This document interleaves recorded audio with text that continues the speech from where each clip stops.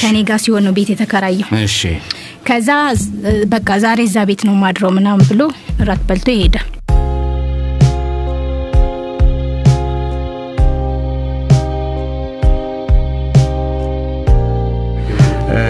መቅደስ ወደ እስኪ ጠጋ በይ። ራቅ ራቅ የለም። ከቢሾፍቱ ነው የመጣሽው? አህዱ ሬዲዮ የጥንዶቹ መንገድ ፕሮግራምን በመስማት ከሰማሻቸው እስኪ እንጀምር። ይህን ፕሮግራም ትከታተያለሽ እና ከሰማሹ ውስጥ እዚህ አህዱ ሬዲዮ ስቱዲዮ የጥንዶቹ መንገድ ላይ ተገኝተው ሀሳቦቻቸውን በፍቅር በትዳር በልጆች ጉዳይ ከሰማሹ ውስጥ እማትረሹን አንድ አጠር አድርገሽ ንገኝ ያው እንግዲህ ያው በልጅ በልጅም በትዳር ውስጥም ያለውን ነገር አይሰማም። በህፃናትና በትዳር ውስጥ ያሉትን ችግሮች እናንተ ያው እንደምትፈቱና እናንተ ከችግሩ በላይ እንደምትሆኑ ስለምሰማ በቃ የኔ ችግር የኔ ችግር ከእነሱ ችግር በላይ ከኔ ችግር በላይ ሊሆኑ ይችላሉ በሚል ነው የደወልኩት። አቶ እንደሰንም ሌሎቹም የሚሉት መጀመሪያ ችግሩ እዛው አካባቢ ነው ያለው፣ መፍትሄውም እዛው ነው ነው የሚሉት። እንጀምር እስኪ መቅደስ፣ ትዳር አለሽ? አሁን አሁን የለኝም። ትዳር ነበረሽ? ነበረኝ። እና ያው አሁን ተለያይተን ነው ተለያይታችኋል። መቼ ነበር የተዋወቃችሁት? ከምን ያህል ዓመት በፊት? ከሁለት ሺ አምስት። አምስት አካባቢ? አዎ።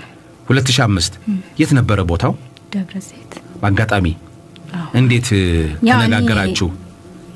ሻይ ቤት ነበር ግሮሰሪ ስሰራ። እሺ። እሱ እዛ አቅራቢያ ነበር የሚሰራው እና ምሳና ቁርስ በእኛ ጋር ነበር የሚጠቀመው። እና በቃ ስልክሽን ስጭኝና ምግብ ታመጭልኛለች ደውልሻለሁ ለምግብ? አዎ፣ ምግብ እኔ አቶ ወንደሰን አሁን ሬዲዮ አይደለ? የመቅደስን አጠቃላይ ሁኔታ በማየት አሁን ጉዳዩን እኔ እናንተ ቀድመን ባናቀው ኖሮ ባለ ትዳር በትዳር ውስጥ ያለፈች ልጅ የወለደች እንደዚህ ነው ይመስል እስኪ ሀሳብ ስጠኝ። መቅደስን አሁን ነው ያየዋት እና ሳያት ግን ገና ወጣት ወደ ትዳር ዓለም ውስጥ የገባች አትመስልም እና እንደዛ ነው ማየት። አድማጭ ቤተሰቦቻችንም በግልጽ እንዲያውቁት ብዬ ነው።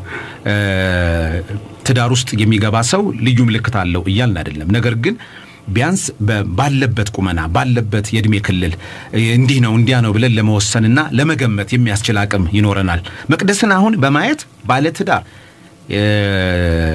በትዳር ውስጥ ያለፈች ልጅ የወለደች የመሳሰለው አይነት ግምት አንወስድም። እሺ ምግብ እፈልጋለሁ፣ የእናንተ ቤት ምግብ በጣም ቆንጆ ነው፣ ምግቡን ደግሞ አንቺ አምጭልኝ፣ ስልክሽን ስጭኝ ሲልሽ ምን አልሽው? ከዛ በቃ እሺ ብዬ ሰጠሁት። ያው ምግብ ሲፈልግ ይደውልልኛል እሺ። እና እዛ የሚሰራበት ቦታ ድረስ አደርስለታለሁ። ከዛ እያደር በቃ የት ሀገር ነሽ? የት አካባቢ ነሽ? የት ነው የተወለድሽው? ምናምን ሲለኝ እንደዚህ ወደዚህ አካባቢ ምናምን ስለው እንዴ በቃ የሀገሬ ልጅ እኮ ነሽ እኔ የምፈልገው የሀገሬ ልጅ ነው ስለዚህ እግዚአብሔር በቃ አገናኝቶኛል አንቺን ከዚህ በኋላ ከአንቺ ጋር መኖር እፈልጋለሁ ህይወት በቃ በጓደኝነት መኖር እፈልጋለሁ አለኝ ግን በደንብ አይሰማም። ከዛ እንደዚህ ያለኝና በጓደኝነት እፈልጋለሁ ሲለኝ ይህንን እንደተናገረ ልክ ይህንን እንዳለ መቅደስ ምን አለች? እኔ በቃ ያው የአንድ ሀገር ልጆች በመሆናችን ደስ ብሎኛል እና በቃ ዘም ብዬ እስቲ ቆይ እንደዚሁ እየተደዋወልን እያወራ ምናምን ሁኔታውን እያጣራው ለአንድ አመት ምናምን ቆየው።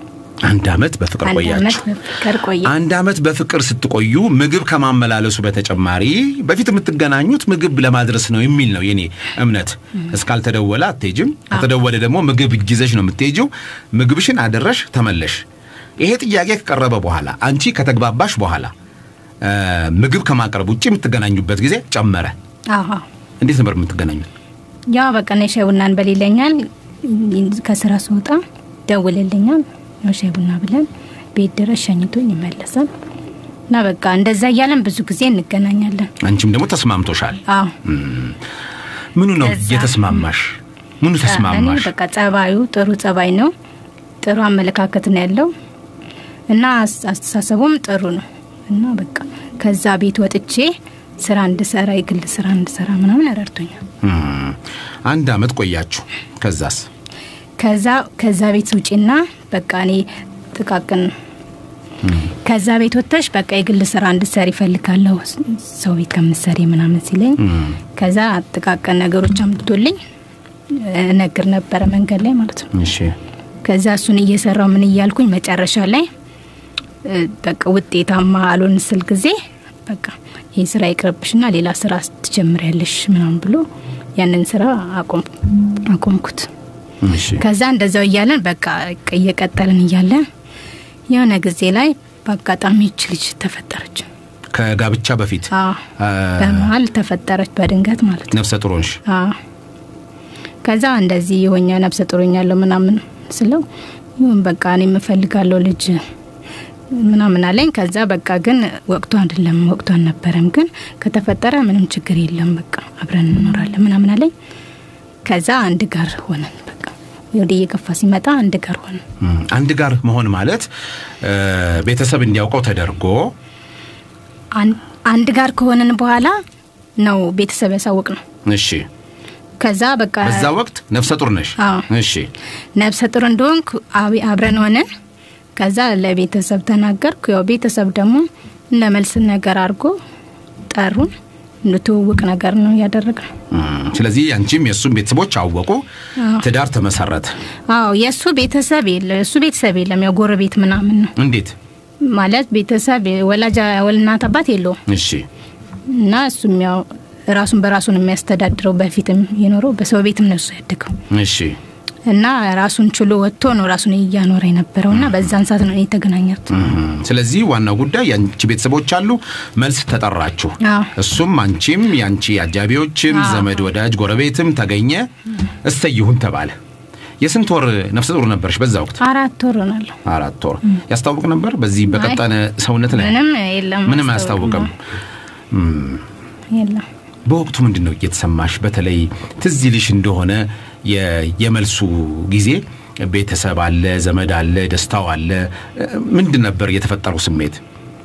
በቃ እኔ በቃ ከዚህ በኋላ በቃ ከሱ ጋር ምንም እንደማልለያይና በቃ ከዚህ በኋላ ልጅ ከወለድን አብረን በፍቅር የበለጠ ፍቅር ኖሮን እንደምኖር ነበር ተስፋ ማደርገው።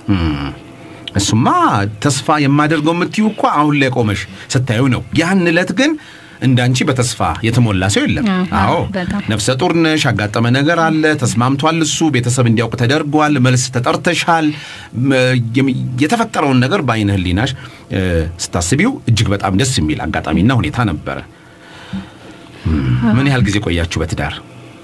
አምስት አመት አምስት ዓመት የማትረሺ ቆንጆ ጊዜ በፍቅር በትዳር በዛ በነፍሰ ጡርነት ጊዜ የማትረሻቸው ጊዜያት አዎ ነፍሰ ጡር ከሆንኩ በኋላ ያው ብዙም life ምናምን የለም። ያው ከቤት ከገባው በኋላ ከቤት አልወጣም።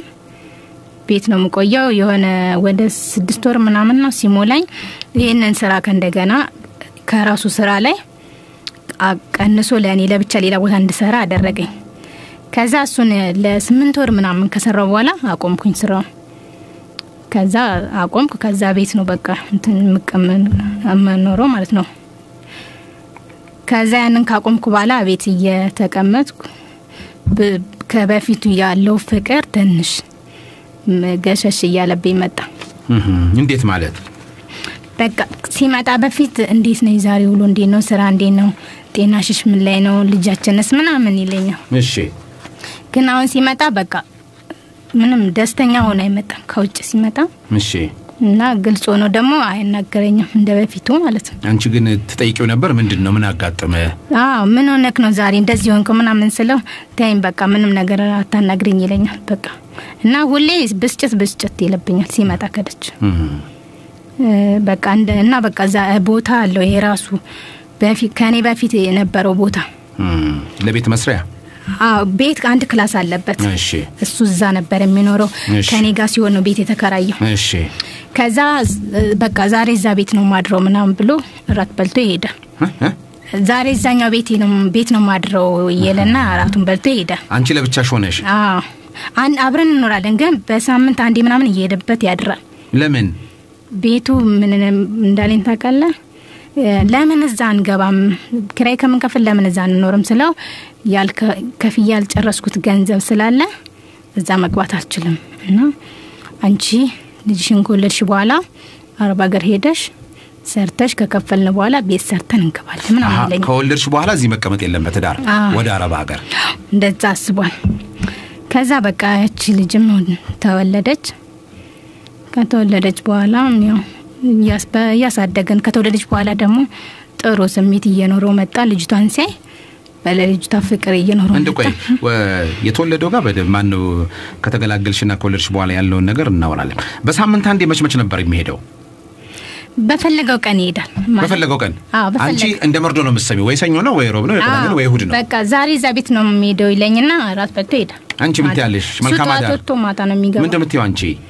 እኔ በቃ እሺ በቃ ስትደርስ ደውልልኝ መግባትን እለዋለሁ። እም፣ ከዛ ሲደርስ ገብቻለሁ ብሎ ይደውልልኝ። ከቤተሰብ ጋር ነው የኖርሽው አንቺ?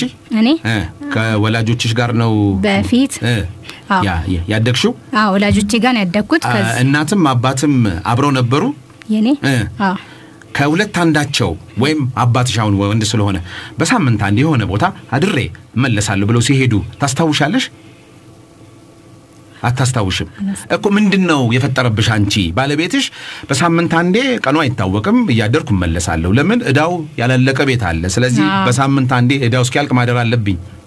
አዎ እና ለምን እንደዛ ነው በቃ የሚለው ገንዘቡን ከፍዬ ካልጨረስኩ አንቺን ይዤ መግባት አልችልም ነው የሚለኝ እና በቃ አንቺ እዛ ሄደሽ ሰርተሽ ከከፈልን በኋላ ነው መግባት የምንችለው አቶ እንደሰን አንዴ የተነጋገርነውን አስታውሼ ነው። አንዳንድ ሰዎች የትዳር ቤታቸውን ይተዉና ወይ ከቤተሰቦቻቸው ወይ እንደዚህ ሄደት መለስ የሚሉበት አጋጣሚ አለ። አሁን መቅደስ የምትለውን በትዳር ውስጥ አንድ ቀን ከሰባቱ አንድ ቀን የሆነ ቦታ ሄጄ አድሬ እመለሳለሁ እኔም ደግሞ ስደርስ ደውልልኝ እለዋለሁ ነው የምትለውና ምንድን ነው የምትለው አቶ እንደሰን? እንግዲህ ተነጋግረውበት ሁለቱም አምነውበት ደግሞ አሳማኝ የሆነ ምክንያት አንዳንድ ጊዜ አሳማኝ የሆኑ ምክንያቶች ሊኖሩ ይችላሉ። ግን እነሱ እ፣ የአሳማኝ ምክንያት ብለው ያስቀመጡት ተነጋግረውበት ያለ አይመስለኝም። ነገር ግን እሱ ባላት መሰረት ወጣ ብሎ አድሮ የመምጣት ነገር እንዳለ ነው የገለጸችልን።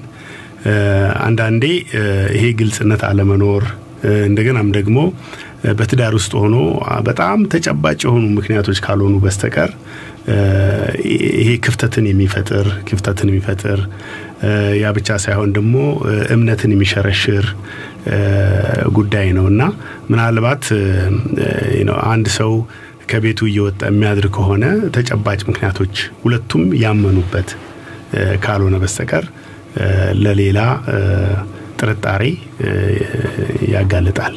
ያጋልጣል። እኔም ያልኩት ይሄንን ነው። ምንድን ነው የሚሰማሽ ያልኩና ለምን ያህል ጊዜ ቀጠለ ግን በሳምንት እየሄደ ማደሩን ከገባሽበት ጊዜ ጀምሮ ለሳምንት አንድ ጊዜ እየሄደ አስለምዶሽ አንቺም የትዳርና የኑሬ እጣ ፈንታ ነው ብለሽ የ- የተቀበልሽው ነው በአጋጣሚ የመጣ ነው ወይ ማለት ነው? አይ በቃ በአጋጣሚ ሳይሆን ሁሌም በቃ ከተገናኘን ጊዜ ጀምሮ እንትን ይላል ይሄዳል እዛ ቤት ይሄዳል። አዎ እና በቃ በሚቀጥለው ቀን ምሽት ነው የሚመጣው።